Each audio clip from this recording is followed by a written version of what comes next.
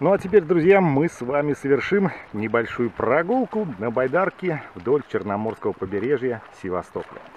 Сегодня отличная погода, сегодня хорошее настроение и замечательные виды. Единственное, на Голубой бухте, где хотели собрать байдарку и поплавать, сделать это не удалось. Там какой-то рейд проводится, но по соседству удалось байдарку собрать и увидеть вот такие пейзажи, которые можно увидеть только с воды. В других местах, согласитесь, вы такую красоту не увидите. Поэтому, если у вас есть байдарка, если есть минимальный навык хождения по воде, не как у Иисуса, а как у байдарочника, то можете устроить себе вот такое замечательное трофи водное. Поплавать где-нибудь недалеко от побережья. Рекомендую район Севастополя.